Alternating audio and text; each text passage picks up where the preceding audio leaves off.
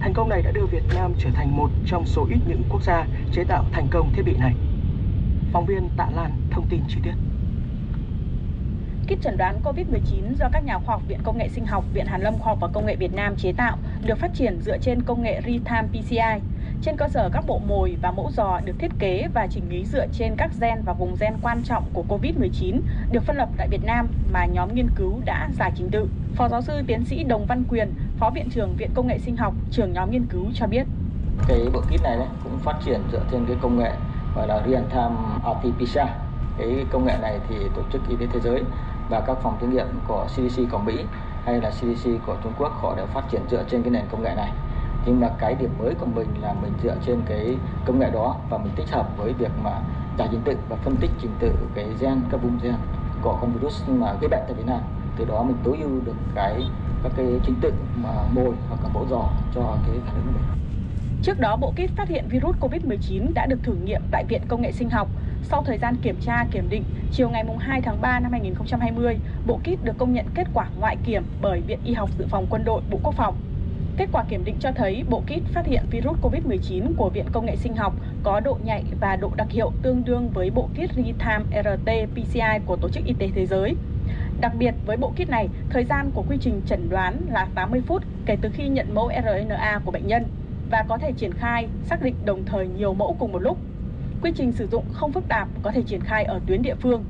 Tiến sĩ Hà Quý Quỳnh, trưởng ban ứng dụng và chuyển giao công nghệ Viện Hàn lâm Khoa học và Công nghệ Việt Nam nhấn mạnh, ngay từ khi dịch Covid-19 khởi phát, Viện Hàn lâm Khoa học và Công nghệ Việt Nam đã đề nghị các nhà khoa học tập trung nghiên cứu về dịch bệnh này với bốn hướng nghiên cứu chính. Ngoài cái ký tử này ra thì Viện Hàn lâm đang triển khai thêm ba cái hướng nữa. À, cái thứ nhất là giải cái trình tự gen của cái virus Covid-19 trên cái người Việt Nam. Cái thứ hai là nghiên cứu để chế tạo cái vaccine à, phòng chống cái virus này cái thứ ba là sàng lọc các cái hợp chất có hoạt tính sinh học để mà kháng virus để mà tạo ra cái thuốc để à, chữa trị cái bệnh Covid-19 này. Như vậy có thể khẳng định đến thời điểm này các nhà khoa học Việt Nam đã làm chủ công nghệ hiện đại và hoàn toàn chủ động trong việc tạo bộ kit real-time RT-PCR dùng để phát hiện COVID-19 tại Việt Nam, không phụ thuộc vào việc nhập ngoại. Được biết giá thành bộ kit phát hiện COVID-19 của Việt Nam sẽ rẻ hơn rất nhiều so với giá thành bộ kit real-time RT-PCR của Tổ chức Y tế Thế giới. Viện Công nghệ Sinh học cũng cho biết sẽ phối hợp với Viện Y học Dự phòng Quân đội để sản xuất số lượng nhiều phục vụ yêu cầu xét nghiệm quy mô lớn. Viện cũng sẵn sàng phối hợp với các cơ quan chức năng khác để triển khai ứng dụng kit phát hiện COVID-19, góp phần đẩy lùi dịch bệnh. Ngay sau lễ công bố, Viện Hàn lâm Khoa học và Công nghệ Việt Nam cũng sẽ báo cáo Bộ Y tế về kết quả nghiên cứu này và chỉ đạo Viện Công nghệ Sinh học trong việc sản xuất số lượng lớn các kit phát hiện, quy trình sử dụng kit hoặc tham gia xét nghiệm khi có yêu cầu. Theo báo cáo của thành phố Hà Nội, đến nay trong tổng số gần 5.000 người được giám sát tại cộng đồng đã có hơn 2.000 trường hợp hết thời hạn giám sát. Những trường hợp còn lại sẽ tiếp tục xét nghiệm COVID-19 và sẽ có kết quả sau 10 ngày nữa. Tin cho biết. Các bệnh viện của Hà Nội đã thực hiện giám sát 96 trường hợp nghi nhiễm COVID-19. Đến nay, cả 96 trường hợp đều cho kết quả âm tính và không có trường hợp nào cần cách ly theo dõi tại bệnh viện. Sở Y tế Hà Nội đã phối hợp với Bộ Tư lệnh Thủ đô tổ chức 4 điểm cách ly tập trung người nhập cảnh đến từ các vùng có dịch, đang cách ly tập trung 2.240 người. Ngoài 18 bác sĩ của Bộ Tư lệnh Thủ đô, thành phố đã bố trí 5 đội cơ động phòng chống dịch cho các khu vực cách ly. Từ tối mùng 1 tháng 3, ngành chức năng đã bắt đầu tiến hành xét nghiệm COVID-19 và dự kiến 10 ngày nữa sẽ có kết quả xét nghiệm của 2.240 người đang cách ly này. Ông Ngô Văn Quý, Phó Chủ tịch Ủy ban nhân dân thành phố Hà Nội nói: liên quan đối tượng cách ly, thì hiện nay là với Hàn Quốc và Trung Quốc rất là rõ vùng dịch và không vùng dịch. Đối tượng mà nếu mà trong vùng dịch thì cách ly tập trung ngay. Thế nhưng mà nếu không vùng dịch cho về cách ly tại tại cơ sở. Thế nhưng mà hiện nay đối với Iran và Italia thì này, bộ chưa hướng dẫn chỗ nào là vùng dịch, chỗ nào là không vùng dịch. Nên hiện nay là chỗ này cũng là khó cho các địa phương triển khai thực hiện. Mà sắp tới lại các nước khác thì cũng như vậy chúng tôi rất mong muốn là bộ y tế sớm có cái xác định là nhất là nước nào là phải cách ly cái thứ hai là trong nước đó vùng nào là vùng dịch phải cách ly theo hướng tập trung còn lại là cách ly ở nơi ở để các địa phương thực hiện uh, thống nhất tại Vĩnh Long Hôm nay các y bác sĩ tiếp tục kiểm tra sức khỏe hơn 200 người từ Hàn Quốc trở về cách đây 2 ngày đang được cách ly theo dõi tại trường quân sự tỉnh. Phóng viên Tranh Tuy đưa tin.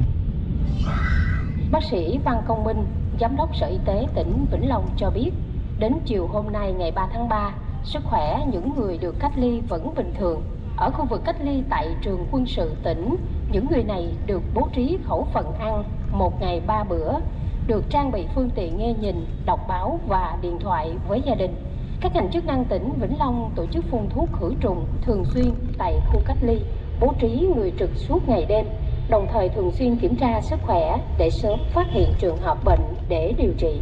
Tình trạng sức khỏe hiện tại của 241 người à, về từ Hàn Quốc, trong đó thì có một người đi phẫu thuật thẩm mỹ. Thì cái tình trạng sức khỏe cũng tạm ổn có hai phụ nữ thì mang thai. Thì coi như là về phía y tế cũng đã thực hiện cái chăm sóc tốt. Còn lại là các cái dấu hiệu các cái biểu hiện khác thì chưa có phát hiện. Coi như là những người này thì đang trong tình trạng là tạm ổn còn tại tỉnh Vĩnh Phúc hết ngày hôm nay thì xã Sơn Lôi huyện Bình Xuyên sẽ kết thúc thời hạn cách ly 3 tuần theo quy định để phòng chống dịch bệnh Covid-19 Người dân nơi đây đang mong chờ đến thời điểm cơ quan chức năng công bố hết thời hạn cách ly trên địa bàn để trở lại cuộc sống bình thường. Phản ánh của phóng viên Văn Hải.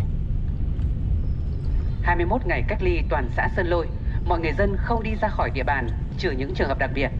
Đây cũng là khoảng thời gian ông Trần Văn Quảng ở thôn Ái Văn phải nghỉ việc. Tuy nhiên, khi được hỏi về điều này, ông Quảng không một chút do dự nói rằng còn người là còn của.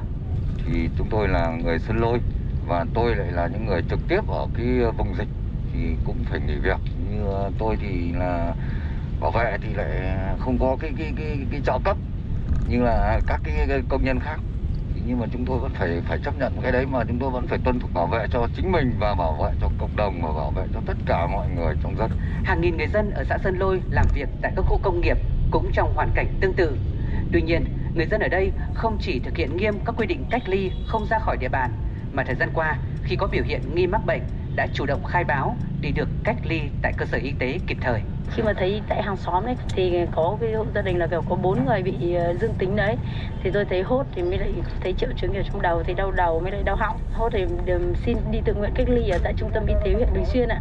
Thì ờ, mọi người dân ở trong thôn này là rất là tuân thủ theo cái ờ, sự chỉ đạo của cấp trên đeo khẩu trang và phòng dịch phát hiện dịch và khoanh vùng dịch cũng rất là tốt. Cái sự vào cuộc của các cấp, các ngành rất kịp thời.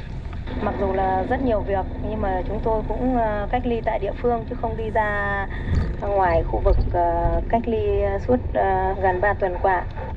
Mong chờ đến hết thời hạn cách ly để được trở lại cuộc sống bình thường đang là ý nguyện của tất cả những người dân tại xã Sơn Lôi.